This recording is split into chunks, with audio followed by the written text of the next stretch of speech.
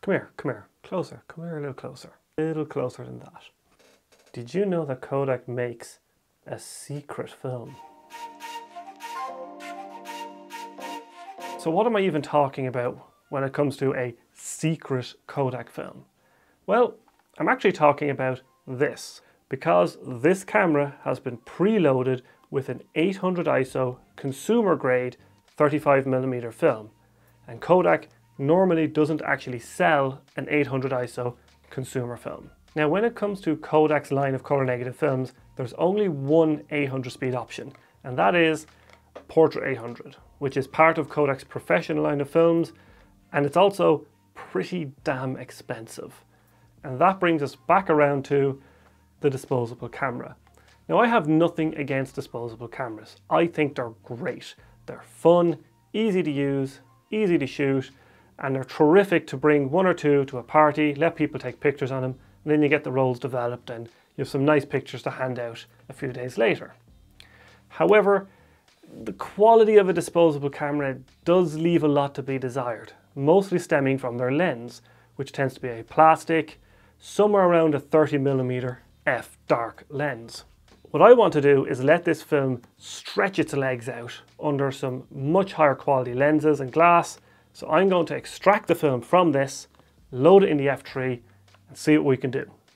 And to do that, we need to go to the workbench. Off the back. Man, it has legitimately been like 15 years since I've opened a disposable camera probably even longer. The last time I remember using one of these was when I was 15, which yeah, was 15 years ago. So let's crack her open. Inside we have our classic disposable camera and wow, the nostalgia is hitting me pretty hard right here. So in order to get the film out of a disposable camera without damaging it, we need to understand how these are actually loaded in the factory. And it looks something like this, where all of the film has been spooled out of the canister into sort of just a big pile of film.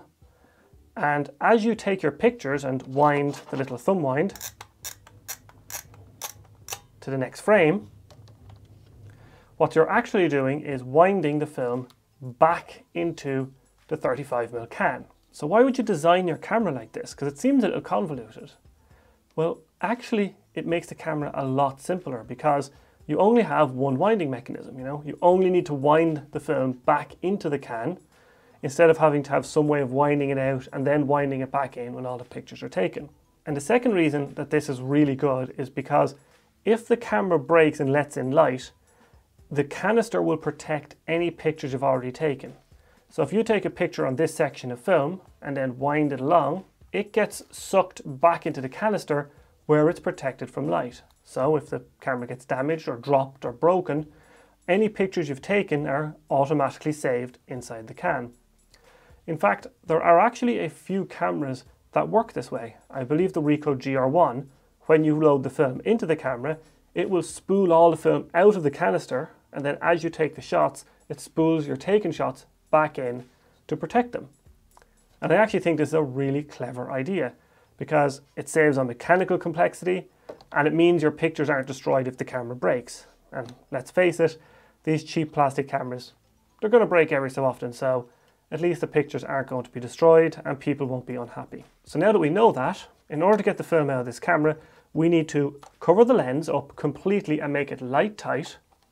And then we need to take all the pictures one after the other with this camera. So we're essentially taking a bunch of blank frames We'll open the bottom, extract the film, and we're good to go. Okay, so in order to block light while I'm taking these pictures to wind the film, I've got two pieces of cardboard here that I'm just going to seal over it. And I'm just going to put a couple of layers of this electrical tape on as well. It's probably overkill. The cardboard will most likely block all the light, but I just want to make sure. So lastly, I'm just going to cover the flash up with my changing bag just to make sure the flash doesn't, you know, go off and blind the camera. So I'm just going to turn off the light and start clicking through these photos. The good old feeling of chafing all the skin off your thumb, trying to desperately to wind to the next frame while something interesting is happening on your holidays. And that's the end of the roll.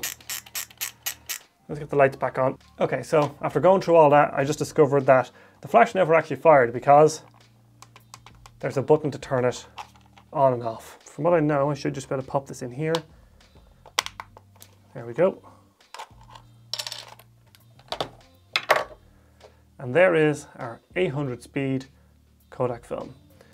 Now the only problem is the leader has been sucked into the can, so I'm going to use this leader extractor tool, one of the greatest tools ever, to pull the leader back out,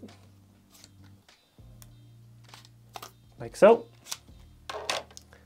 And that's our roll of film ready.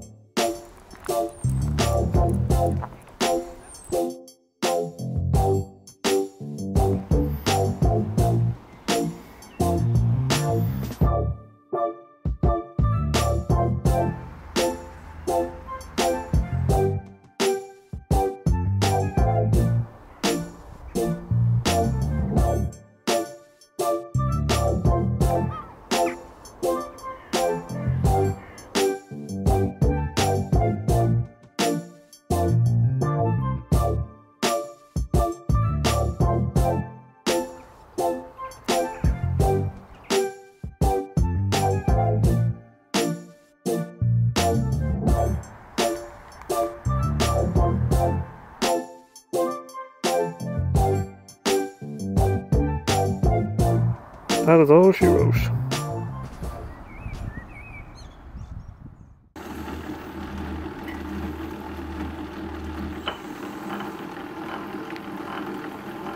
After going through all that hassle, how did the film fare? To be honest, it fared exactly as I expected it to.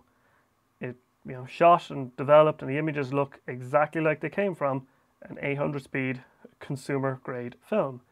They've got nice sharpness, you know, some medium kind of contrast, fairly high saturation, and the grain of this just leaps clean out of picture and slaps you across the side of the head. But even still, the grain wasn't actually as bad as I thought it would be. And that leads us to the final question of this video. Will I shoot this film again? And the simple answer is, of course not. This film is only available in disposable cameras, or possibly it's the same film that Lomography is selling as their color negative 800 speed.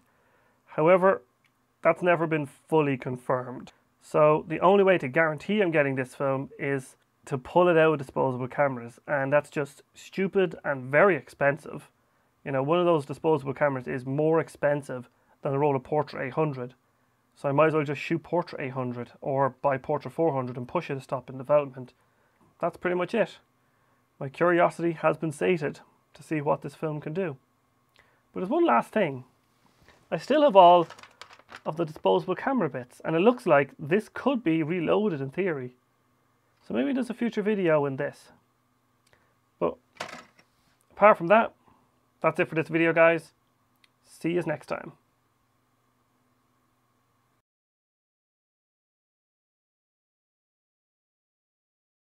Oh.